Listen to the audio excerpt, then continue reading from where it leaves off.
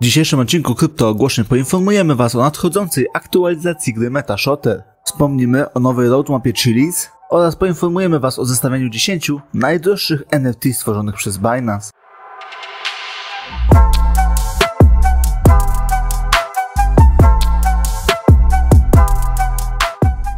Witam Was serdecznie na kanale Krypto. Ogłoszę przed nami kolejna dawka informacji. Na następie tylko chciałbym przypomnieć, że nie znajdziecie tutaj porad inwestycyjnych, po takie należy udać się do specjalisty. My tylko wyrażamy nasze subiektywne zdanie, tak więc nie przedłużając, zaczynajmy. MetaShotter zapowiada wprowadzenie dużej aktualizacji. Podczas aktualizacji zostanie uruchomiony Marketplace NFT. Dodatkowo zostanie wprowadzony update gry. Wspomniany update gry odblokuje dostęp do całej mapy oraz wprowadzi wiele ulepszeń. Aktualizacja umożliwi na korzystanie z tokenów Hunters w grze. Przy okazji tego wpisu jest organizowany giveaway, którym jest do wygrania 5 razy 50 dolarów. Aby wziąć udział w konkursie wystarczy polubić wpis na Twitterze MetaShotter, podać go dalej oraz oznaczyć dwóch znajomych w komentarzu razem z tagiem mhunt.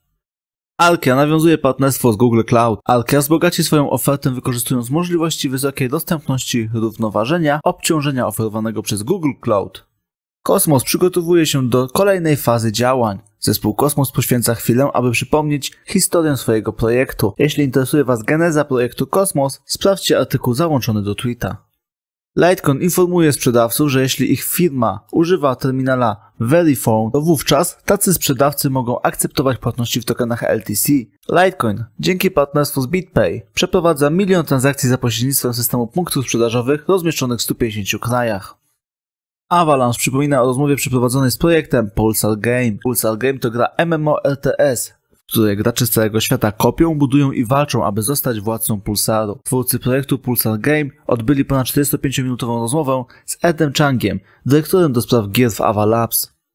Chilis aktualizuje swoją roadmapę. Osoby zainteresowane poznaniem planu działania Chilis Chain 2.0 odsyłamy do artykułu załączonego do tweeta.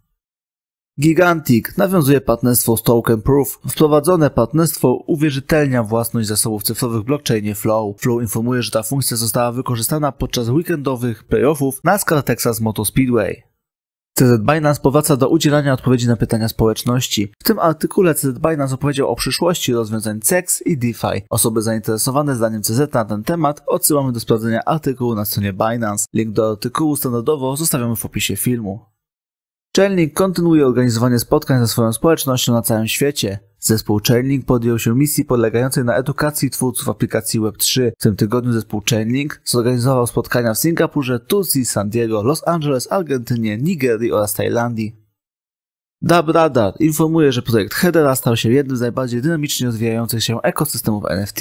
Heber Foundation informuje o uruchomieniu funduszu Metaverse o wartości 250 milionów dolarów. Uruchomienie tego funduszu ma na celu wsparcie dalszego rozwoju tego ekosystemu. Osoby zainteresowane szerszą analizą na ekosystemie Hedera odsyłamy do artykułu załączonego do tego tweeta. ProTolFire.io otrzymał grant od Chainlink na zbudowanie wtyczki HardHat. Wspomniana wtyczka będzie uruchamiała lokalny węzeł Chainlink za pomocą jednego polecenia. W artykule dodanym razem z tweetem Chainlink tłumaczy w jaki sposób wtyczka umożliwi programistom Ethereum łatwiejsze tworzenie i testowanie inteligentnych kontraktów korzystając z interfejsu IP Chainlink. Falcon Wallet ogłasza przeprowadzenie integracji SEI. SEI blockchain w warstwie pierwszej został zautomatizowany, aby dać DeFi przewagę i umożliwić stworzenie zupełnie nowych produktów finansowych. Hedera zauważa, że komputery kwantowe stanowią duże zagrożenie dla kryptowalut. Współzałożyciel projektu Hedera, Lemon Bird, odbył rozmowę z serwisem Silicon Republic. W tej rozmowie został poruszony wątek minimalizacji ryzyka związanego z niewłaściwym wykorzystaniem mocy obliczeniowej komputerów kwantowych. Osoby zainteresowane tematyką komputerów kwantowych i zagrożeniem kryptowalut zachęcamy do zapoznania się z całą rozmową. Link do tego wywiadu znajdziecie standardowo w opisie filmu. UWU Land nawiązuje współpracę z Sushi Swap. UWU Land zdecydowało się na wykorzystanie sushi do swoich potrzeb związanych z przesyłaniem strumieniowym i nabywaniem uprawnień. Binance US świętuje swoje trzecie urodziny. Zespół Binance US wykorzystało ten moment, aby podziękować całej społeczności świata kryptowalut, która była z tą giełdą od samego początku oraz oczywiście tym osobom, które dołączyły do Binance US po drodze. Binance US dziękuję swojej społeczności za możliwość zostania jedną z najlepszych platform w USA.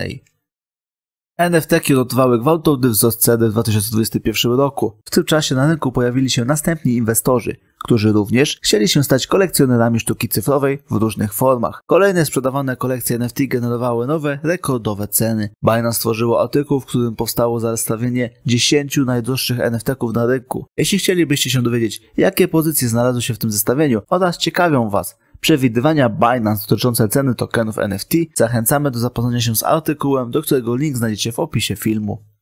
Sandbox ogłasza konkurs na NFT Alpha Pass. Aby wziąć udział w konkursie wystarczy wejść do Instytutu NFT oraz zdobyć zdjęcie z jednym z NFT z kolekcji Omnimorphs. Link do konkursu znajdziecie na samym końcu tego wpisu. To tyle z informacji, które dla Was dzisiaj przygotowaliśmy. Jeżeli materiał był dla Was wartościowy, zachęcamy do lajka, subskrypcji, komentarza. Dziękuję Wam za uwagę i życzę miłego dnia bądź wieczoru. Cześć!